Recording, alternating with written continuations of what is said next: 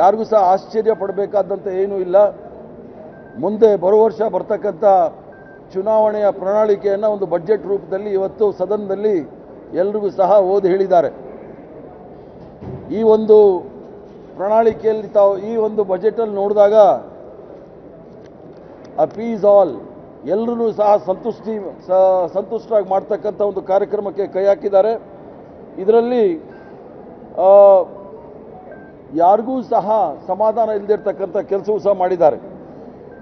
ಈಗಾಗಲೇ ಅವರ ವಿತ್ತೀಯ ಇದರಲ್ಲಿ ನೋಡಿದಾಗ ಹೋದ ಬಾರಿ ಅರವತ್ತೇಳು ಸಾವಿರ ಕೋಟಿಯಷ್ಟು ನಾವು ಸಾಲ ಮಾಡ್ಬೋದು ಅಂತ ಇದ್ದಿದ್ದು, ಈ ಬಾರಿ ಎಪ್ಪತ್ತ ಮೂರು ಎಪ್ಪತ್ತ, ಎರಡೋ ಎಪ್ಪತ್ತ್ಮೂರು ಸಾವಿರ ಕೋಟಿ ಮಾಡ್ಬೋದು ಅನ್ನೋ ಮಟ್ಟಕ್ಕೆ ಅವ್ರು ತಗೊಂಡು ಹೋಗಿದ್ದಾರೆ. ಅದರರ್ಥ ಹಣ ಇಲ್ಲದೇನೆ ಯಾವ ರೀತಿ ಅದನ್ನು ಕ್ರೋಢೀಕರಿಸ್ತಾರೆ ಈ ಇಷ್ಟೊಂದು ಕಾರ್ಯಕ್ರಮಗಳಿಗೆ ಘೋಷಣೆ ಮಾಡಿ ಅದನ್ನು ಸ್ಪಷ್ಟವಾಗಿ ಹೇಳ್ದೇನೆ. ಅವರು ಮಾಡಿರ್ತಕ್ಕಂಥದ್ದು ನೋಡಿದಾಗ ಇದು ಕೇವಲ ಚುನಾವಣೆ ಪ್ರಣಾಳಿಕೆ ಭಾರತೀಯ ಜನತಾ ಪಾರ್ಟಿಯ ಚುನಾವಣೆ ಪ್ರಣಾಳಿಕೆಯಾಗಿ ಬಂದ್, ಬಂದಿರತಕ್ಕಂಥದ್ದು. ಮೂರು ವರ್ಷದಿಂದ ಭಾರತೀಯ ಜನತಾ ಪಾರ್ಟಿಯ ಸರ್ಕಾರ ಅನುದಾನಗಳನ್ನು ಕೊಡೋದ್ರಲ್ಲೂ ಸಹ ತೀವ್ರವಾಗಿ ಕಡಿತ ಮಾಡಿದ್ದಾರೆ. ಕಾಯಕ ಸಮಾಜದ ಸುಮಾರು ನೂರ ತೊಂಬತ್ತೇಳು ಜಾತಿಗಳಿಗೆ, ಸಣ್ಣ ಸಣ್ಣ ಜಾತಿಗಳಿಗೆ ಸಂಪೂರ್ಣವಾಗಿ ಇವರು ಕೊಟ್ಟಿರ್ತಕ್ಕಂಥದ್ದು ಎಲ್ಲ ನೋಡಿದಾಗ ನಾನ್ನೂರು ಕೋಟಿ ಕೂಡ ಇಲ್ಲ.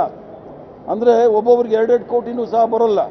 ಅದರ ಅರ್ಥ ಇವರು ಸಂಪೂರ್ಣವಾಗಿ ದುರ್ಬಲ ವರ್ಗದವರು, ಅದರಲ್ಲೂ ಸಹ ಅತಿ ಹಿಂದುಳಿದ ವರ್ಗದ ವಿರುದ್ಧವಾಗಿರ್ತಕ್ಕಂಥ ಸರ್ಕಾರ ಅನ್ನೋದು ಇವರ ಬಜೆಟ್ ಮಂಡನೆಯಲ್ಲಿ ಬಹಳ ಸ್ಪಷ್ಟವಾಗಿದೆ. ಆದ್ದರಿಂದ ಇವರು ಅಪೀಸ್ ಮಾಡ್ತಕ್ಕಂಥದ್ದು ಈ ಪ್ರಜಾಪ್ರಭುತ್ವದಲ್ಲಿ ದುರ್ಬಲ ವರ್ಗದವರಿಗೆ, ಅಂದರೆ ಸರ್ವರಿಗೂ ಸಮಬಾಳು, ಸಮಪಾಲು ಅಂತ ಏನು ಹೇಳ್ತಾರೆ ಅದರ ವಿರುದ್ಧವಾಗಿ ಈ ಬಜೆಟ್ ಪ್ರೆಸೆಂಟ್ ಮಾಡಿದ್ದಾರೆ.